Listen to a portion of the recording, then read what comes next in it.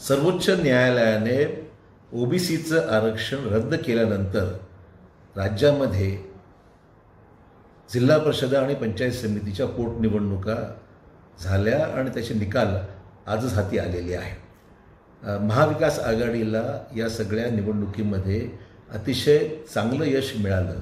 म्हणजे जरी आम्ही तिन्ही पक्ष जरी वेगवेगळे लढलो असलो तरीसुद्धा महाविकास आघाडीचं टोटल गोळावली जर केली तर आघा महाविकास आघाडीला पंच्याऐंशी जागापैकी शेहेचाळीस जागेवर विजय प्राप्त झालेला आहे. एकतर ओबीसींचा विषय होता मराठा समाजाचा विषय होता आणि जणू काय आपणच त्याचे तारणहार आहोत या दोन्ही समाजाचे असा दाखवण्याचा प्रयत्न जो भाजपने चालवलेला होता त्या प्रयत्नाला चोख प्रत्युत्तर महाराष्ट्रातील जनतेने दिलेलं आहे.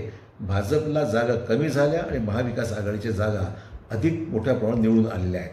भाजपनी दोन्ही समाजाची दिशाभूल करण्याचा प्रयत्न केला. आणि प्रत्यक्षात ज्यावेळेस केंद्रात किंवा सर्वोच्च न्यायालयात बाजू घेण्याची वेळ आली त्यावेळेस मात्र भाजप नामनिराळी झाली किंवा वेगळी झाली आणि त्याच्यामध्ये प्रत्यक्ष कृतीमध्ये त्यांच्या सरकारने काही केलं नव्हतं ही वस्तुस्थिती आहे.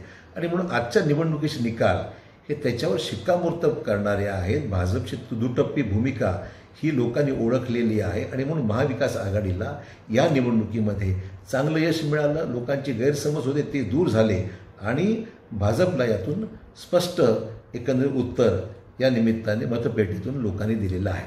आपण जर पाहिलं की जिल्हा परिषदेच्या पंच्याऐंशी आणि पंचायत समितीच्या एकशे सोळा जागांसाठी ही पोटनिवडणूक झालेली आहे. आणि काँग्रेसला आपण पाहाल की रिक्त झालेल्या पंच्याऐंशी जागांमध्ये काँग्रेसला तेरा जागा होत्या.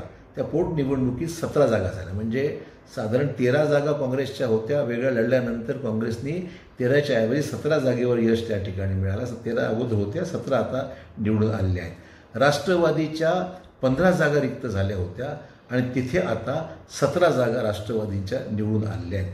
आणि शिवसेनेच्या नऊ जागा रिक्त होत्या. त्या शिवसेनेला जवळपास बारा जागांवर यश मिळालेलं आहे. त्यामुळे एकंदरीत जर पाहिलं तर याची जर बेरीज जर केली तर महाविकास आघाडीला पंच्याऐंशीपैकी शेहेचाळीस जागेवर चांगलं यश घवघवीत यश मिळालेलं आहे. भाजपच्या एकतीस जागा रिक्त झाल्या होत्या आणि त्या एकतीस जागेपैकी भाजपच्या आठ जागा कमी झालेल्या आहेत. आपण पाहाल की केवळ तेवीस जागेवर भाजपला विजय मिळवता आला एकतीस जागेपैकी म्हणजे भाजपच्या आठ जागा या कमी झालेल्या आहेत.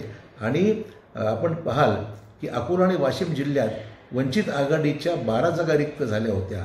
तिथे फक्त त्यांना आठ जागा मिळालेल्या. आहेत म्हणजे वंचितच्या जागा कमी झाल्या भाजपच्या जागा कमी झाल्या आणि महाविकास आघाडीच्या एकंदरीत या जर गोळाबेरी जर केली तर चांगल्यापैकी यश महाविकास आघाडीला एकंदरीत मिळालेलं आहे.